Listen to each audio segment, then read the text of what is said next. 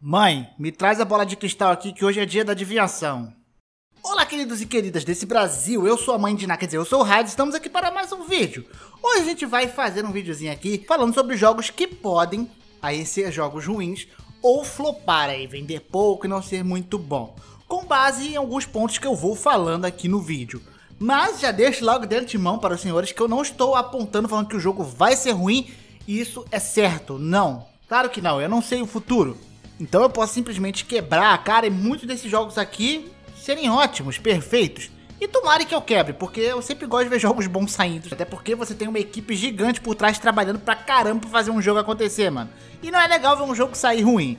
Mas vamos falar disso aqui, de jogos aí que podem, ou pelo menos dão a ideia de que não vão sair muito bem, vão flopar talvez nas vendas, ou que vão ser até jogos ruins ou bem medianos para baixo. Beleza? Então antes de começar o vídeo, deixa o like, se inscreve no canal e vambora! Vamos começar então com Bioning nível 2. Esse jogo foi anunciado algumas E3 passadas aí e que gerou um certo hype na galera. O jogo parece estar bem bonito graficamente. Esse jogo é um 2, né, mas ele se passa antes do primeiro jogo e que é um jogo que, primeiramente, a Ubisoft não dá tanto foco nesse jogo. E eu falo isso porque o primeiro game, ele simplesmente vendeu muito pouco. Ele é um daqueles jogos que eram bons, legais, só que venderam pouco. Uma das principais pessoas no desenvolvimento do Bionic Nível 2 tinha deixado o projeto de lado para trabalhar no Rayman e depois voltou quando acabasse pro projeto. Então dá pra ver que o foco dela não tá tão grande no jogo. Segundo, que o jogo está aí na sua fase de Development Hell, que eu já falei aqui nos outros vídeos que são jogos ali que tem um desenvolvimento muito conturbado. Isso porque é estimado que o jogo está em desenvolvimento aí já desde 2007. Desde 2007 há boatos que depois vieram a confirmar mais ainda que o jogo já estava ali em desenvolvimento para ser aprovado pela Ubisoft lá em 2007, blá blá blá.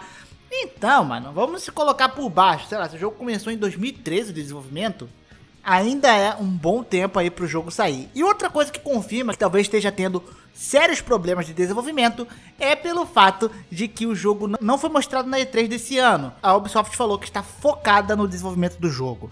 Isso daí diz muita coisa, né? Então pode ser que seja um jogo aí conturbado, e jogos conturbados geralmente podem dar problema.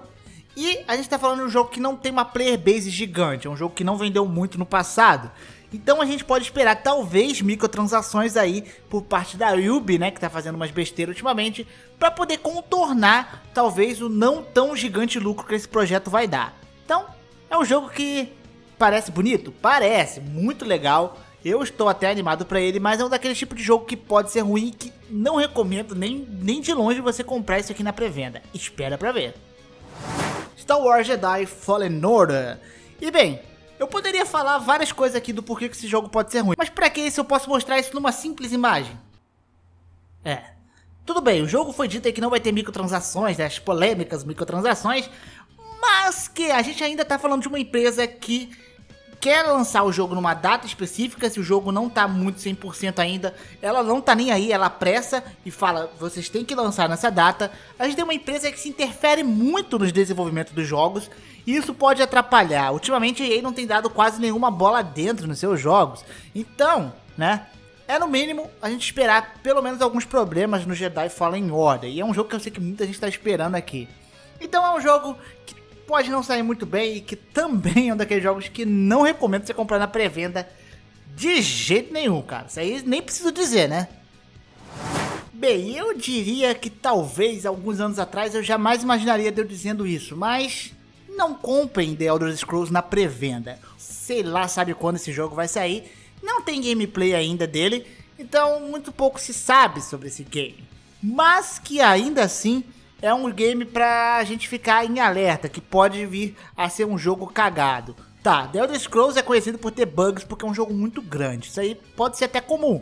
É algo que a gente que meio que releva quando o jogo é bom, no caso que foi o Skyrim, né?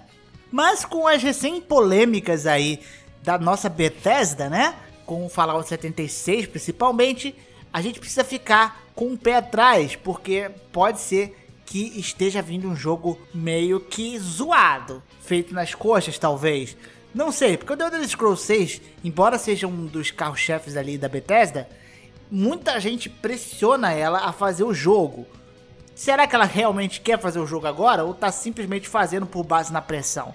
Será que vai sair bom? Não sei, só o futuro vai nos dizer, mas que é um jogo também que a gente precisa ficar com o um pezinho atrás, né? Pode ser ruim. Infelizmente, eu não, não quero, é uma das minhas franquias favoritas, mas qualquer cuidado é pouco. Marvel Avengers, é, o jogo aí dos Vingadores que, sinceramente, eu não acho que não sou o único que não viu muito potencial, talvez, ou não criou muito hype em cima desse game aí. Embora seja um jogo que não vai flopar, porque simplesmente é Vingadores, mano. O jogo pode ser ruim que for, que ele é um jogo que eu acho que vai vender muito, né? Simplesmente por, por causa que hoje tá super em alta, então provavelmente flopar não vai. Mas eu não consigo ver ainda o Vingadores como um bom jogo. Ele parece que não vai ser muito bom, ele parece que vai ser um jogo bem mediano. Isso pela gameplay que a gente pode observar inicial. Primeiro que é um jogo que não vai ser mundo aberto, que eu acho que combinaria muito com esse universo de heróis. É um mundo aberto combina bastante com o jogo de super-herói. Ainda mais se você tem super-heróis que voam, né? Que não falta aqui em Vingadores. Eles falam que vão ser mundos ali um pouco grandinhos, mas interligados um com o outro. Mas o que me chamou mais atenção é que ele parece um jogo muito repetitivo. Porque tudo que a gente viu na gameplay era simplesmente a luta dos heróis, que era legal, mas que sempre muito igual, muito parecido uma coisa com a outra. Mostrou ali vários heróis lutando na ponte e cada hora era um pouquinho de história e você colocava o herói lutando ali uma espécie de arena cheio de inimigos cercado por carros. Me lembrou muito um Musou da vida e sinceramente parece um jogo muito repetitivo, muito que vai ser enjoativo e que não captou muito um feeling de você estar tá no universo ali dos Vingadores. Pelo menos foi o que passou para mim a impressão desse jogo e por isso que é um jogo que eu acho que não vai ser muito bom se eles não melhorarem muita coisa aí até o lançamento. Quesito gráfico eu achei também meio estranho o molde dos personagens. Não falo o rosto por não ser os atores dos filmes, mas falo o molde do personagem em si. Mas o cenário eu achei bonito. Mas vamos ver como é que vai ser o jogo. Mas é um jogo que eu não coloco a minha mão no fogo, não. Shemui é um jogo que pode ser muito bom, mas que no caso aqui é um jogo que eu acho que vai flopar, vai vender muito pouco. Eu acho que as, as vendas desse jogo realmente não vão ser muito boas. Primeiro a gente tem a polêmica da Epic Games, que vai ser vendido na Epic Games no PC, mas eu falo mais pelo histórico em si do game. Shemui é um jogo incrível, o 1 e o 2 é um dos melhores jogos já feitos de todos os tempos. O grande problema é que a galera que jogou o Shemui 1 e o Shemui 2, mano, já faz muito tempo isso, é de 2000 o jogo. A gente tá saindo o terceiro jogo ali que vai contar uma história direta do 1 e o 2 em 2019. Então, é coisa de 19 anos atrás. Então, esse jogo ele vai hum, com certeza abranger quase que exclusivamente os fãs de longa data de Shenmue. Até porque quem vai jogar um Shenmue 3 vai ver ali, é um jogo que é muito dependente da história, mais do que até a gameplay, vai querer pegar um Shenmue 3. Ainda mais um jogo meio estilão asiático e que conta uma história direta a jogos antigos, o 1 e o 2. Difícil, tá? O jogo tem que ser muito bom para isso, como foi no caso do The Witcher 3, por exemplo. O jogo vai ter que dar muito nó aí para poder conseguir ser bom. Mas ainda assim, né, é um jogo que está sendo vendido como um jogo indie, porque ele foi um jogo apoiado no Kickstarter, ele foi feito pelo criador de Shemui, e aí ele foi jogado lá no Kickstarter. Então a gente também não tem como esperar um jogo de grande orçamento, como era o Shemui nos anos 2000, que era um dos melhores jogos graficamente, tecnologicamente ali, que vem foi caríssimo para ser feito, né? Mas aí o tempo dirá sobre o jogo, mas acho que é um jogo que não vai vender muito bem não. Um que eu digo que as chances são altas de flopar é Persona 5 Scramble. É, Persona 5 conseguiu uma legião de fãs até que boas aqui pro ocidente, porque é um jogo muito bom. Ele acabou conquistando uma galerinha aí que curte esse tipo de jogo, né? Os RPGs japoneses ou JRPGs. Só que, né, anunciaram aí que ia vir um Persona novo. Aí anunciaram o Persona 5 Scramble. Eu fui feliz ver e descobri que era um bendito de um Musou. É, se você não conhece o gênero Musou, é esse gênero do Dynasty Warriors, que são vários inimigos, tipo 550 mil inimigos na tela, que você vai esmagando o botão.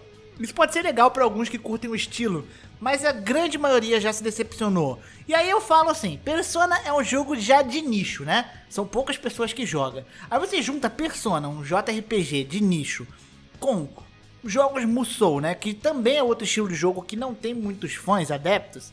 Você já sabe que a fórmula não vai dar muito certo. Não sei se vai ser um jogo ruim, mas que vai ser um jogo que não vai ter muitas pessoas jogando, pelo menos aqui pro ocidente, e vai falhar bastante nas vendas, eu acho que vai.